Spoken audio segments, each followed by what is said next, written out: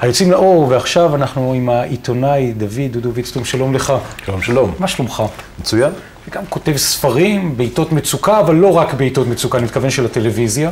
כן, לא רק של הטלוויזיה, גם של החברה הישראלית, כלומר, זה באמת אחד הדברים שהביאו אותי לספר, ה... לספר הזה שעוסק באמת בשידורי הטלוויזיה בעיתות מצוקה, במיוחד מדובר באסונות או פיגועים, כמו שהיה אצלנו מלחמות וכדומה. קח אותי ברשותך אל הרגע הכי מטלטל שאתה זוכר בחיים שלך. תראה, אחד, אולי זה לא רגע, אבל זה מין סוג של כניסה לאיזשהו אה, מצב שבו לא ידעתי איך להיחלץ, ולכן גם כתבתי את הספר. כן? אחד הדברים ש, אה, אה, שקרו, והוא בעצם גרם את הדחיפה להביא אותי לספר הזה, היו, הייתה מה שנקרא תורנות הפיגועים שהיינו נמצאים בה. והתחלקנו, השדרים הבכירים, כל יום אה, שדר אחד ישב במערכת החדשות. וחיכה לפיגוע שבו יבוא ובא. לבוש בחליפה. מאופר? עם, מאופר ועם, ועם אוזנייה ביד, וחיכה לטלפון שאומר, יש פיגוע, ואז רצנו, אנחנו רצים לאולפן. פותחים שידור, מה שנקרא, ומשדרים לאול, לאומה, מה שאנחנו ממש לא יודעים מה קרה עדיין. כלומר, המשטרה עדיין לא הגיעה למקום, צוותי ההקצלה עוד לא הגיעו למקום, לא יודעים מה, מה קורה, פקקים גדולים, ואנחנו בכל אופן צריכים לשדר, ולשדר ולשדר. הרגעים האלה הם רגעים שטלטלו אותי ולא נתנו לי לישון. הייתי, הייתי באמת מאחל לעצמי ביום שני בלילה, לפני התורנות ביום שלישי, שלא יקרה שום דבר בתורנות הפיגועים שלי, אבל קרו די הרבה פיגועים לצערי, ואז החלטתי ש...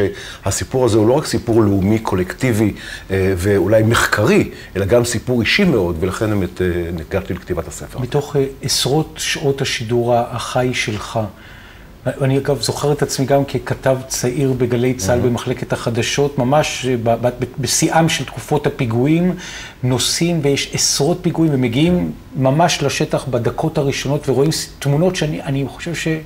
אולי לעצמי עדיין לא סיפרתי מה ראיתי שם, כי אתה נכנס מיד למוד ש... נכון, שצריך לבוא נכון, ולהדהד. נכון.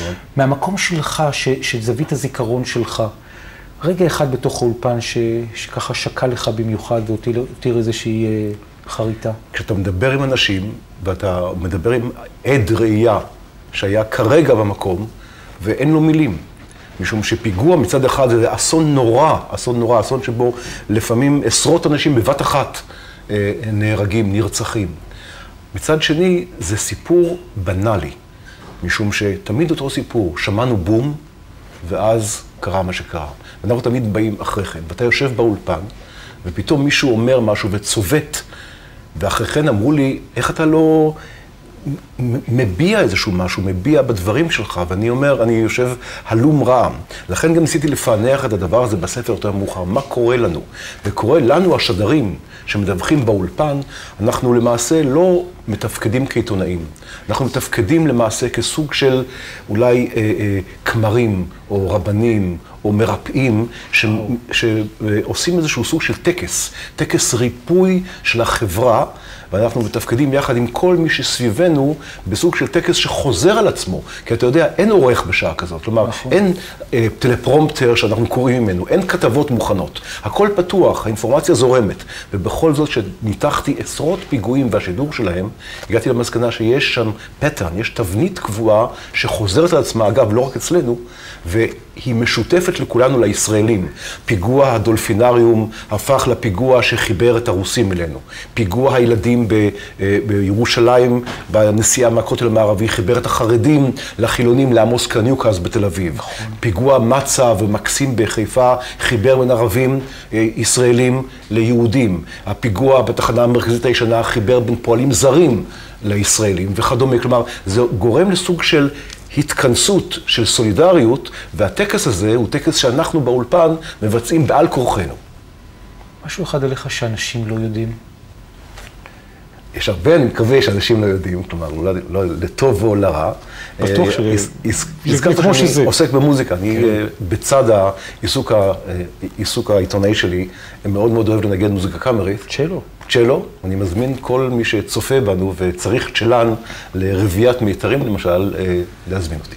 ואתה, ואתה, זה, מההיכרות שלי איתך לאורך השנים, זו לא אמירה בעלמא, זאת אומרת, זה משהו לא, שהוא באמת...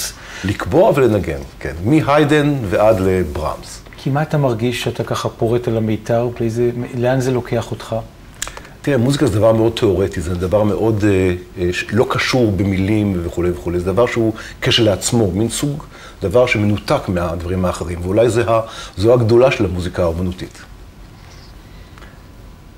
אתה יודע, אם היית מסתכל, ואתה דמות שככה נוכחת כל כך הרבה שנים בציבוריות ממקום, אם יורשה לי, מאוד קלין, מתון, קבוע, מעורר אמון. אם אתה מסתכל, עושה איזה הצצת על מעבר לכתף של עצמך לעוד עשר שנים, mm-hmm. לעוד עשרים שנה. אני שם בצד, רשות השידור תהיה בתהליך הבראה כזה או אחר, בדיוק עכשיו התקשורת הזה, עזוב. כן, כן. אתה, איפה אתה מדמיין את עצמך? תראה, הבעיה שלי היא שכשאני מסתכל על החברה מסביב, אז אה, אני אה, בכל זאת מתמלא דאגה, דאגה רבה. אני מסתכל הרי גם, כשדיברנו, קצת מרוחק, קצת מבחוץ, קצת איך רואים אותנו.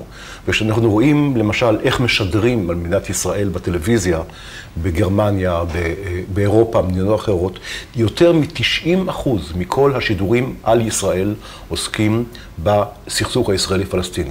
וכמעט כולם, כמעט כולם לוקחים את עמדת הפלסטינים בסכסוך בינינו לבינם. עשר שנים זה לא יחזיק מעמד. לדעתי זה, זה יגרום למפולת שכבר התחילה.